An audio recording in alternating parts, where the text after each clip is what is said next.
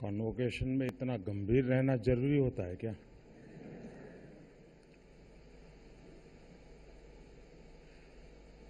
काफी सूचनाएं दी गई ऐसा लग रहा है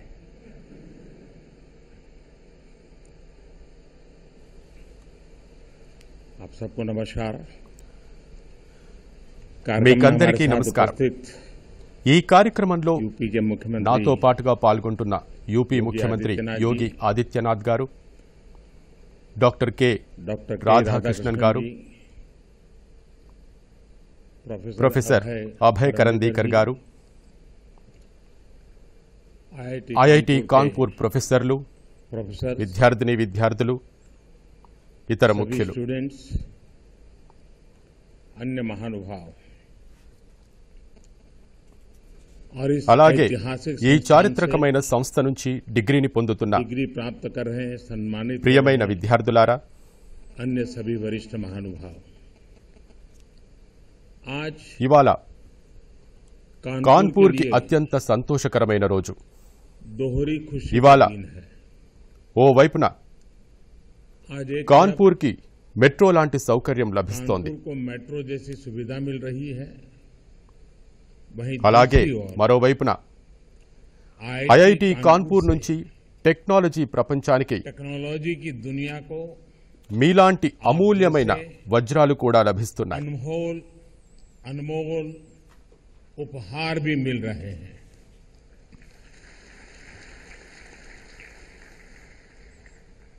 మన యువ మిత్రులందరికీ నేను శుభాభినందనలు తెలుపుతున్నాను.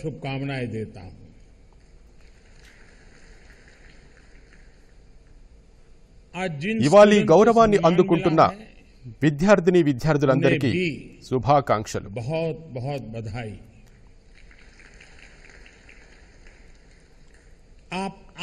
మీరివాళ్ళ దశకు చేరుకున్నారు. మీరివాళ్ళ సంపాదించుకున్న యోగ్యత దానికి కారణమైన మీ తల్లిదండ్రులు మీ కుటుంబ సభ్యులు మీ టీచర్లు మీ ప్రొఫెసర్లు ఇలా లెక్కలేనంత మంది ఉంటుంటారు. వాళ్ళందరూ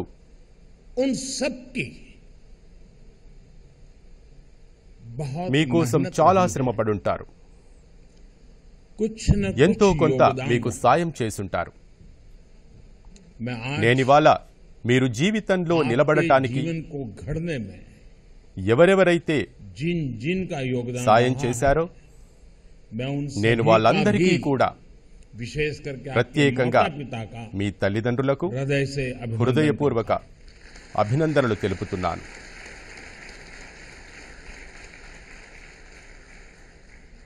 మిత్రులారా మీరు ఐఐటి కాన్పూర్లో ప్రవేశం తీసుకున్నప్పుడు ఇవాళ ఇక్కడి నుంచి బయటికి వెళ్తున్నప్పుడు అప్పుడు ఇప్పుడు మీలో మీరే చాలా మార్పును మీరు గమనించే ఉంటారు. ఇక్కడకు రావడానికి ముందు FIR of unknown enquiry of unknown ఉండుంటుంది. ముందు మీ నాలెడ్జ్ మీ క్వైరీస్ పరంపర మీ స్కూల్ కాలేజ్ మీ మిత్రులు మీ కుటుంబాలు మీరు వీటన్నింటిలో బందీలైపోయి ఉంటారు ఐఐటి కాన్పూర్ వాటన్నింటి నుంచి మిమ్మల్ని బయటకు తీసుకొచ్చి ఓ చాలా పెద్దదైన క్యాన్వాస్ నిచ్చింది ఇప్పుడు ఫియర్ ఆఫ్ అన్నోన్ లేదు ఇప్పుడు మీరు మొత్తం ప్రపంచాన్ని ఎక్స్ప్లోర్ చేయాలన్న ఆశతో ముందుకెళ్తున్నారు. ఇప్పుడు క్వైరీ ఆఫ్ అన్నోన్ లేదు. ఇప్పుడు క్వెస్ట్ ఫర్ ద బెస్ట్ మొత్తం ప్రపంచాన్ని జయించాలన్న కల ఉంది. అలాగే ఎంత లెర్నింగ్ మీ క్లాస్ రూమ్లో జరిగిందో లేదా మీకు మీ క్లాసులో ఎంత నేర్చుకోవడానికి అవకాశం కలిగిందో. అదే స్థాయిలో మీరు మీ క్లాస్ రూమ్ బయట మీ సహచరుల మధ్య ఎక్స్పీరియన్స్ అయ్యారు. క్లాస్ రూమ్లో మీ ఆలోచనలు మీ ఐడియాలు అభివృద్ధి చెందాయి. క్లాస్ రూమ్ బయట మీ వ్యక్తిత్వం అభివృద్ధి చెందింది. మీ పర్సనాలిటీ అభివృద్ధి చెందింది. మీరు ఐఐటి కాన్పూర్లో పొందినదేంటంటే మీ ఆలోచనలు సమృద్ధయ్యాయి. అది ఎలాంటి బలమైన ఫౌండేషన్ అంటే ఫోర్స్ అంటే దాని బలంతో మీరెక్కడికెళ్ళినా సరే అక్కడేదో కొత్తగా చేస్తారు. అద్భుతాలు సాధిస్తారు. ఎంతో కొంత వాల్యూ అడిషన్ చేస్తారు. మీకు లభించిన ట్రైనింగ్ మీ స్కిల్స్ మీ నాలెడ్జ్ మీ జ్ఞానం నిస్సందేహంగా మీకు ప్రాక్టికల్ వరల్డ్లో బలమైన స్థానాన్ని సంపాదించుకోవడానికి చాలా సహాయపడుతుంది. కానీ ఇక్కడ వికసించిన మీ వ్యక్తిత్వం మీకెలాంటి బలాన్ని ఇస్తుందంటే దాంతో మీరు సొసైటీ ఎట్ ఏ హోల్. దానికి మేలు చేస్తారు. మీ సమాజానికి మీ దేశానికి ఓ సరికొత్త సామర్థ్యాన్నిస్తారు. మిత్రులారా మీరిక్కడి ఐఐటి అద్భుతమైన పారంపర్యానికి చెందిన హిస్టారికల్ పీరియడ్ని పొందారు. మీరు వైవిధ్యంతో కూడిన భారతీయ వైభవంతో పాటుగా వర్తమానాన్ని పొందారు. అద్భుతమైన పారంపర్యం అలాగే వయబుల్ ప్రెజెంట్.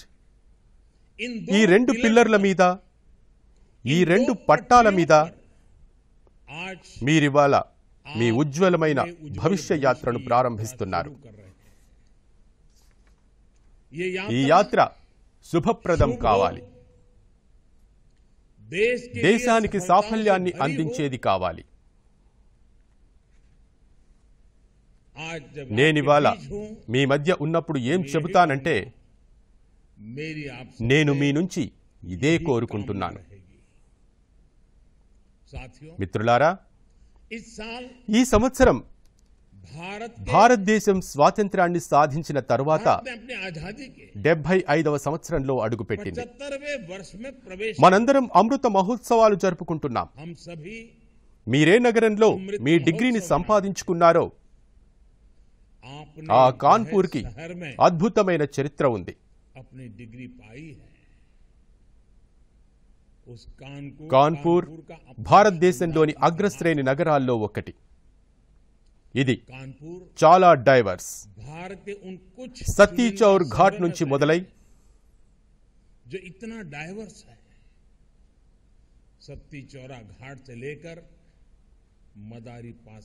మదారి పాసి వరకు నానా సాహబ్ బటుకేశ్వర్ దత్త నానాసాహెబ్ నుంచి మొదలుకొని బటుకేశ్వర్ గద్దె వరకు మనం ఈ నగరాన్ని సందర్శించినప్పుడు ఎలా అనిపిస్తుందంటే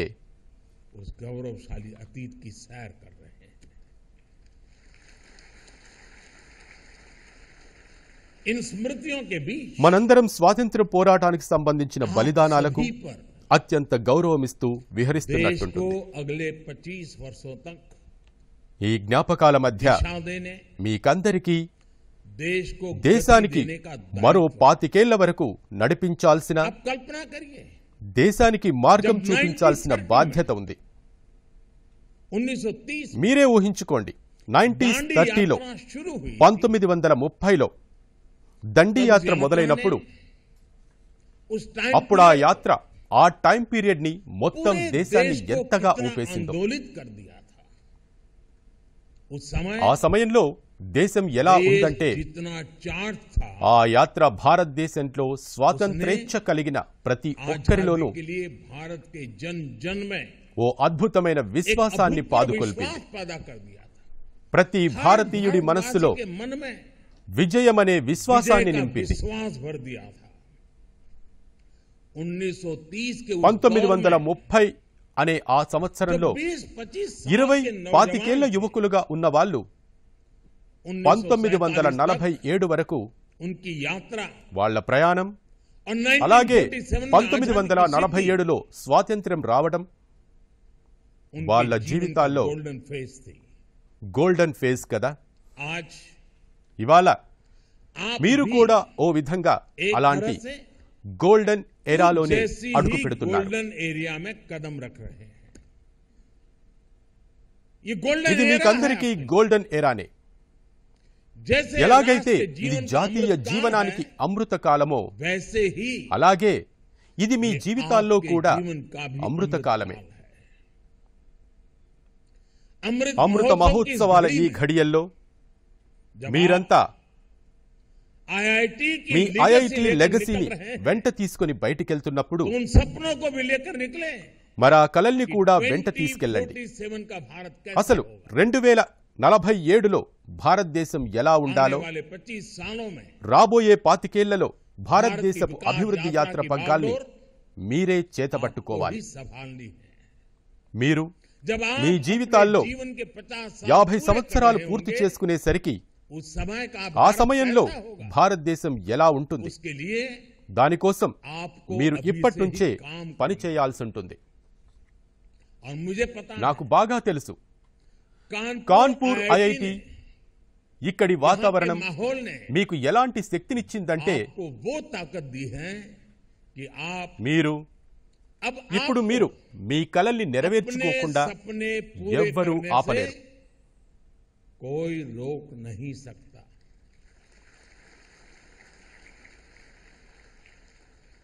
ये ఈ दौर కాలం ఈ ఈ ఇరవై 21వ ఒకటో సది శతాబ్దం पूरी तरह పూర్తి స్థాయిలో టెక్నాలజీ డ్రివేస్ टेक्नोलॉजी ड्रिवन है इस दशक ఈ में भी శతాబ్దంలో కూడా टेक्नोलॉजी టెక్నాలజీ వేర్వేరు రంగాల్లో అలగ్ తన అలగ్ సామర్థ్యాన్ని క్షేత్రోं में నిరూపించుకోబోతోంది अपना दबदबा టెక్నాలజీ और లేని बढ़ाने జీవితం वाली है ఓ విధంగా చూస్తే बिना అసంపూర్ణమే అవుతుంది टेक्नोलॉजी के जीवन अब एक तरह से अधूरा ही होगा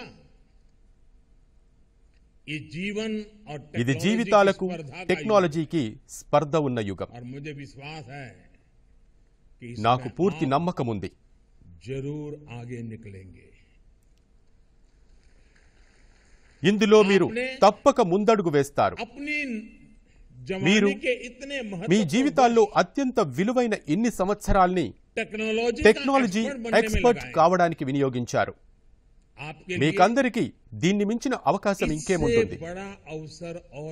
మీ దగ్గరిప్పుడు భారతదేశంతో పాటు మొత్తం ప్రపంచంలో టెక్నాలజీ రంగంలో మీ సామర్థ్యాన్ని నిరూపించుకునే చాలా గొప్ప అవకాశం ఉంది.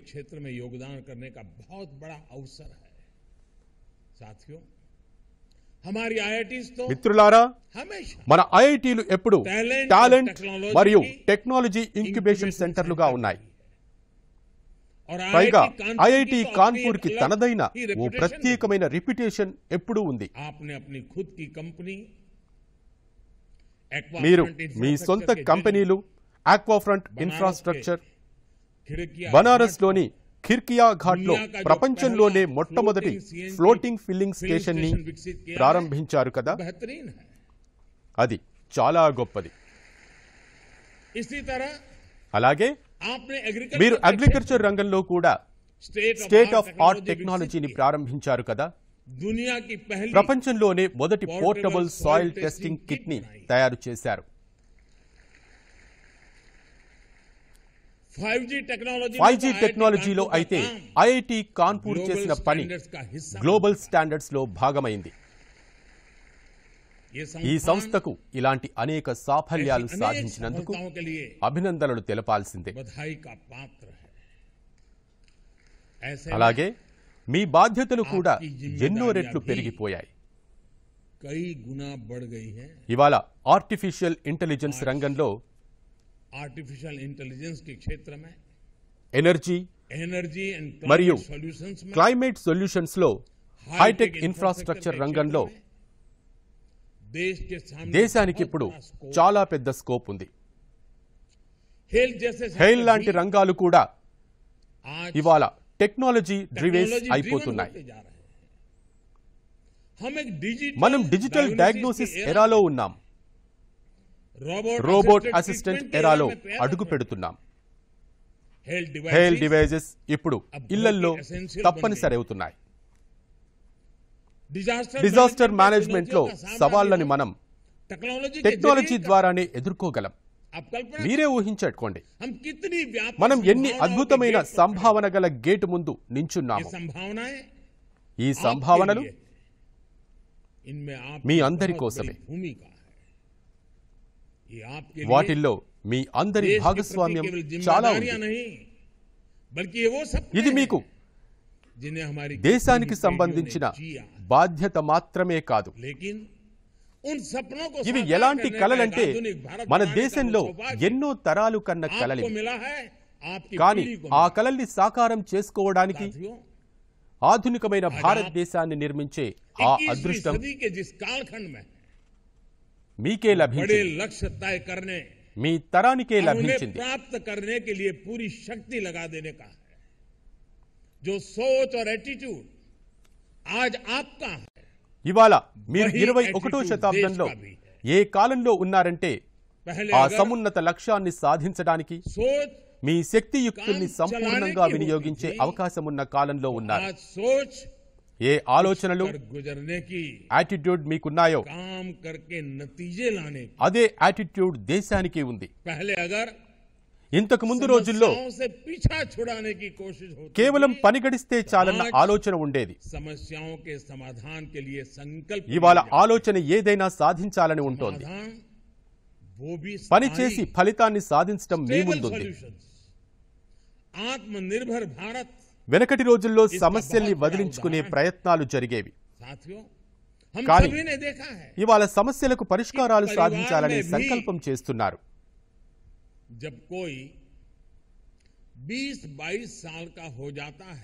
ఈ పరిష్కారాలు కూడా శాశ్వతమైన స్టేబుల్ సొల్యూషన్స్. స్వయం సమృద్ధ భారతదేశం దీనికి చాలా పెద్ద ఉదాహరణ. మిత్రులారా మనందరం చూశాం కదా. ఓ కుటుంబంలో ఎవరైనా సరే ఇరవై ఇరవై రెండేళ్ళ వాళ్ళైనప్పుడు అప్పుడు కుటుంబంలోని పెద్దవాళ్ళు పదే పదే చెబుతుంటారు. సమయం వచ్చేసింది మీ కాళ్ళ మీద నిలబడాలని. నాకు పూర్తి నమ్మకం ఉంది. మీరిక్కడి నుంచి ఇళ్ళకెళ్తారు కదా?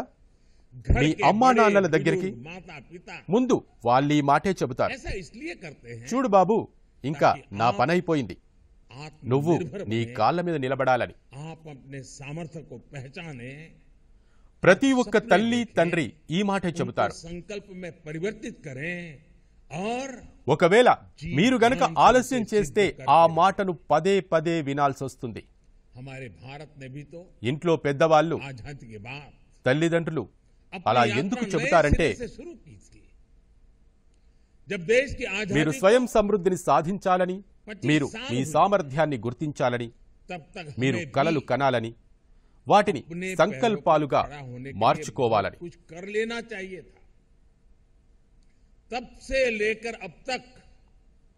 ఇంకా సర్వశక్తులు వడ్డీ వాటిని సాధించుకోవాలని. మన భారతదేశంలో కూడా స్వాతంత్ర్యం వచ్చిన తర్వాత తన మార్గాన్ని స్వయంగా నిర్మించుకుంది. దేశానికి స్వాతంత్రం లభించి పాతికేళ్ళు గడిచాక ఆపాటికే మనం మన కాళ్ళ మీద నిలబడి చాలా చాలా సాధించాల్సింది.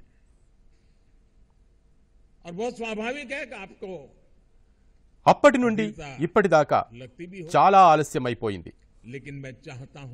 దేశం చాలా సమయాన్ని పోగొట్టుకుంది.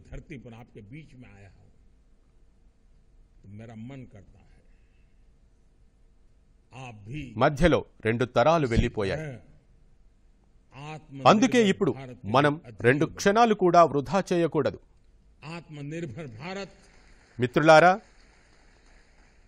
నా మాటల్లో మీకు తొందరపాటు కనిపించచ్చు. అలా తొందరపాటు కనిపించడం కూడా అత్యంత స్వాభావికమే. కానీ నా కోరికేంటంటే ఇవాళ కాన్పూర్ గడ్డ మీద మీ మధ్య నిలబడి చెబుతున్నాను मैसेज टू डिलीवर నా మనస్సు ఉప్పొంగుతోంది mission to fulfil our destiny to reach మీరు కూడా ఇదే విధంగా యది స్వయం హమ్ సమృద్ధ భారతం కోసం వేగిరపడాలి आत्मनिर्भर नहीं होंगे స్వయం సమృద్ధ భారతం हमारा देश अपने लक्ष्य कैसे पूरे పూర్తి करेगा స్వాతంత్ర్యానికి పరిపూర్ణ స్వరూపం डेस्टिनी तक कैसे पहुंचेगा साथियों आप ये कर सकते हैं మనం అసలు ఎవరి మీద ఆధారపడకూడదు आप पर भरोसा है और मैं जब आज इतनी बातें कह रहा हूं इतनी चीजें कर रहा हूं तो मुझे उनमें आपका चेहरा नजर आता है आज देश में जो एक के बाद एक बदलाव हो रहे हैं స్వామి వివేకానంద చెప్పారు. Every nation has a message to deliver a mission to fulfil ఒకవేళ మనం స్వయం సమృద్ధి సాధించకపోతే అప్పుడు మన దేశం తన లక్ష్యాల్ని ఎలా సాధిస్తుంది? తన డెస్టినీకి ఎలా చేరుకుంటుంది? మిత్రులారా మీరిది సాధించగలరు. నాకు మీ మీద నమ్మకం ఉంది। నేనివాళ ఇన్ని మాటలు చెబుతున్నానంటే ఇన్ని పనులు చేస్తున్నానంటే మరి నాకు వాటిల్లో మీ మొహాలే కనిపిస్తున్నాయి। ఇవాళ దేశంలో ఒకదాని తర్వాత ఒకటిగా మార్పులు వస్తున్నాయంటే వాటి వెనకాల నాకు మీ మొహాలే కనిపిస్తున్నాయి।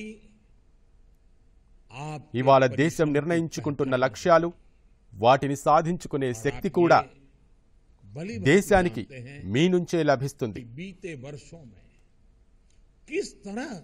మీరు మాత్రమే దాన్ని సాధించగలరు. అలాగే మీరు మాత్రమే చేయాలి.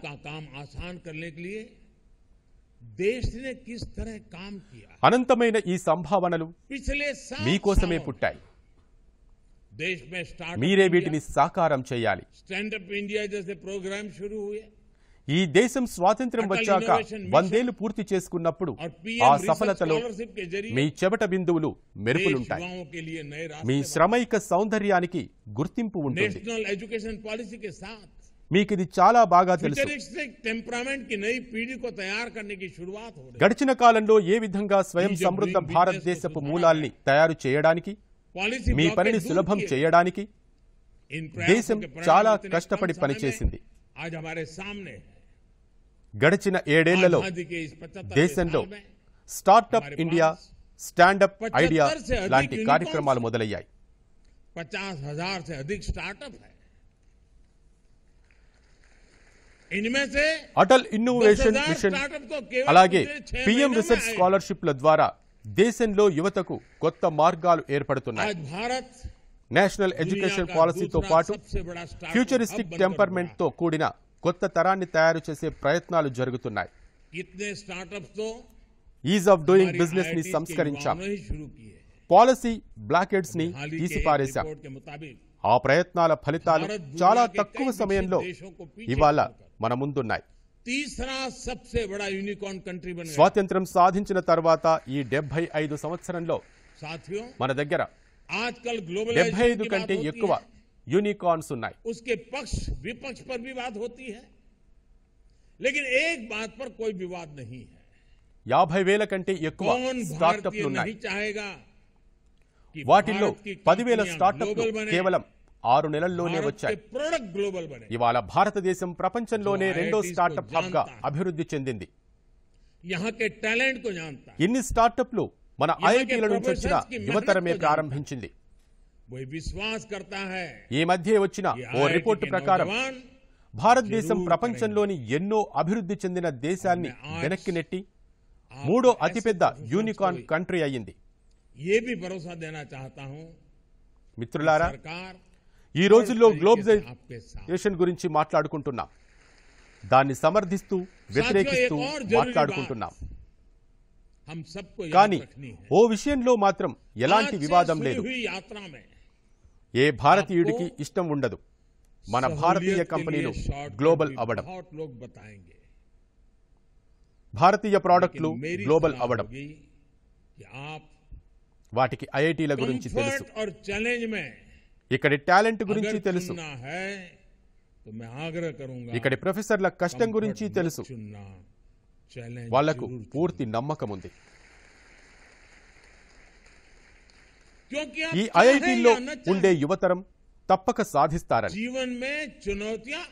నేను ఇవాళ మీలాంటి ప్రొఫెషనల్స్కి ఇంకో భరోసా ఇవ్వాలనుకుంటున్నాను. ఈ ప్రభుత్వం అన్ని విధాలుగా మీకు అండగా ఉంటుంది. మిత్రులారా ఇంకో ముఖ్యమైన విషయాన్ని మనందరం గుర్తుంచుకోవాలి. ఇవాల్టి నుంచి మొదలైన యాత్రలో మీరందరికీ విజయానికి షార్ట్ కట్లు చాలా మంది చెబుతారు. కానీ నా సలహా ఏంటంటే మీరు కంఫర్ట్ మరియు ఛాలెంజుల్లో ఒకటి ఎంపిక చేసుకోవాలంటే నేను మీకేం చెబుతానంటే కంఫర్ట్ని ఎంచుకోండి. ఛాలెంజ్ని తప్పకుండా ఎంచుకోండి. ఎందుకంటే ఇప్పుడు కావాలన్నా వద్దన్నా సరే జీవితంలో సవాళ్ళు తప్పనిసరి. ఎవరైతే వాటి నుంచి పారిపోతారో వాళ్ళు వాటికి ఎరగా మారిపోతారు आप लगातार इनोवेशन में ही लगे रहते हैं फिर भी इन सब के बीच मेरा आपसे एक आग्रह भी है टेक्नोलॉजी की अपनी ताकत होती है उसमें कोई बुराई नहीं और ये आपका पैशन भी है लेकिन टेक्नोलॉजी की दुनिया में रहते हुए आप But if you are looking for challenges, you are the hunter and challenge is being hunted. అందుకే మీరు ఎలాంటి మనిషిగా మారాలంటే ప్రాబ్లమ్స్ని పరిష్కరించే వాళ్ళు కావాలి. మీకు నచ్చినట్టు మీ చాయిస్ ప్రకారం వాటికి సొల్యూషన్స్ కనిపెట్టాలి. ఫ్రెండ్స్ మీ విద్యార్థులందరూ ఐఐటీలో finest tech you all eat जो जरूरी नहीं drink, कि हमें टेक्नोलॉजी breathe की मदद से technology. ही मिलती हो మీరు నిరంతరాయంగా ఇన్నోవేషన్ లోనే इंटरनेट ऑफ మునిగి थिंग्स पर ఉంటారు जरूर काम करिएगा लेकिन అయినా emotion of వీటన్నింటితో things को भूल పాటు मत जाइएगा। మీకు సూచన చేస్తున్నాను आप आर्टिफिशियल इंटेलिजेंस के बारे में जरूर सोचिएगा టెక్నాలజీ लेकिन కూడా శక్తి ఉంటుంది ह्यूमन इंटेलिजेंस को भी याद रखें। దాంట్లో తప్పేం లేదు పైగా అది మీ आप ప్యాషన్ కూడా कोडिंग करते रहिएगा కానీ టెక్నాలజీలో ఉంటూ కూడా మీరు హ్యూమన్ ఎలిమెంట్స్ ఆఫ్ లైఫ్ని ఎప్పటికీ మర్చిపోవద్దు. మీరు స్వయంగా తయారు చేసిన రోబో వర్షన్స్గా ఎప్పటికీ కావద్దు. మీరు మీ మానవీయ విలువల్ని మీ ఆలోచనల్ని మీ క్రియేటివిటీని అలాగే క్యూరియాసిటీని ఎప్పటికీ సజీవంగా ఉంచండి. మీ జీవితంలో ఎలాంటి విషయాలకు ప్రాధాన్యత ఇవ్వాలంటే కొన్నింటిని మనం టెక్నాలజీ సాయంతో పొందాల్సిన పని లేదు.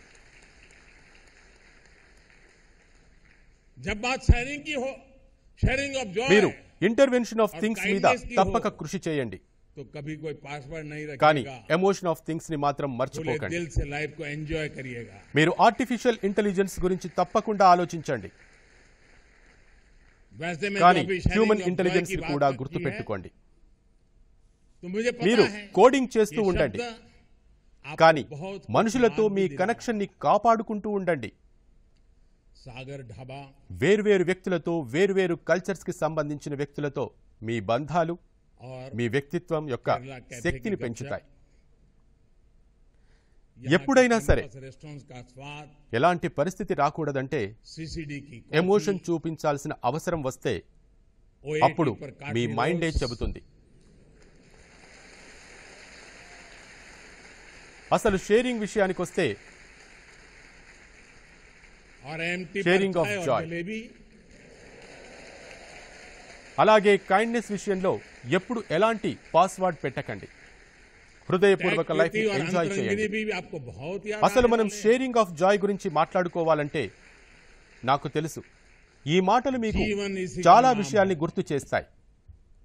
సాగర్ ధాబా ఇంకా కేరళ కేఫ్ గప్చుప్ ఇక్కడి క్యాంపస్ రెస్టారెంట్ల రుచి సిసిడి కాఫీ ఓఏటీలో వెజ్ రోల్స్ అలాగే మంచి పకోడీలు జిలేబీ. ట్యాటీ అలాగే అంతరంగిని కూడా మీకు చాలా గుర్తొస్తాయి. ఇదే జీవితం అంటే స్థలాలు మారిపోతుంటాయి మనుషులు కలుస్తుంటారు విడిపోతుంటారు. కానీ జీవితం కొనసాగుతూనే ఉంటుంది. దాన్నే అంటారు. చరైవేతి చరైవేతి చరైవేతి. నాకిప్పుడు కనిపిస్తోంది చాలా మంది స్టూడెంట్స్ ఇంకో లెక్చర్ హాల్లో కూడా మనతో అనుసంధానమై ఉన్నారు. కరోనా. కరోనా ప్రోటోకాల్ కారణంగా వాళ్ళు అక్కడి నుంచే నా మాటలు వింటున్నారు. మీరందరూ నన్ను అనుమతిస్తే మీ ఈ ప్రోటోకాల్కి ఎలాంటి ఇబ్బంది లేకపోతే నేను తప్పకుండా అక్కడికి వెళ్ళాలనుకుంటున్నాను వాళ్ళను కలవాలనుకుంటున్నాను వాళ్ళను తప్పక కలుస్తాను. మీరు మీ కెరీర్లో సఫలత సాధించాలి. మీ సఫలత దేశ సఫలత కావాలి. ఆ కోరికతో నేను ఈ ప్రసంగాన్ని ముగిస్తున్నాను. మీకందరికీ ఇంకోసారి హృదయపూర్వక శుభాకాంక్షలు తెలుపుతున్నాను. హృదయపూర్వక ధన్యవాదాలు.